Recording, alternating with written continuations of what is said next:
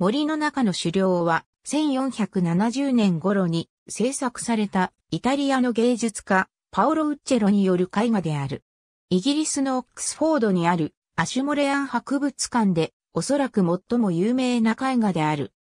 絵画はルネサンス美術において遠近法を効果的に使用している初期の例であり、人、そして馬、犬、鹿などの狩猟に関わる動物が遠くの暗い森に姿を消しているところである。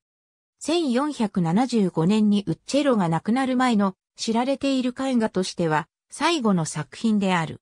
この絵画はイギリスの連続テレビ番組ルイスの消失展のエピソードで紹介されている。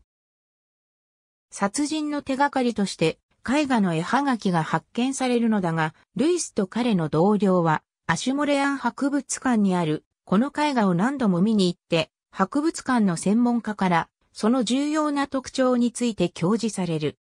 絵画を通して、ルイスは事件を解決することを可能にする洞察を得るのである。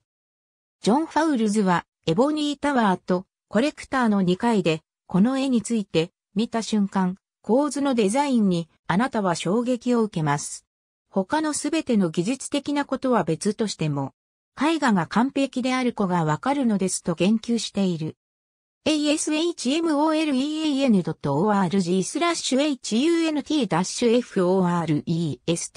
hunt-forest The Hunt in the Forest Ashmolean Museum Oxford。2020年9月29日閲覧。